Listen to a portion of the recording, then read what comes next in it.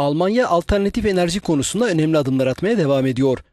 Ülkedeki güneş enerjisi santrallerinin geçtiğimiz cuma ve cumartesi günleri 22 gigawatt elektrik ürettiği ve bunun tam kapasite çalışan 20 nükleer santralin ürettiği günlük enerjiye eşdeğer olduğu bildirildi.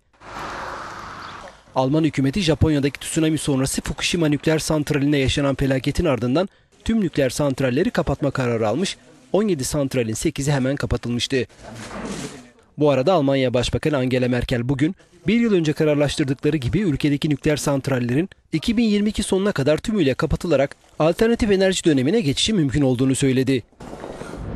Alman Yeşiller Partisi eş başkanı Cem Özdemir bugün Berlin'de yaptığı açıklamada hükümeti enerji değişimi konusunda çok yavaş hareket etmekle eleştirmişti.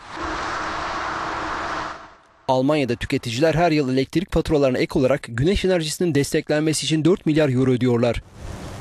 Ülkedeki rüzgar santrallerinin sayısı da her geçen gün artıyor.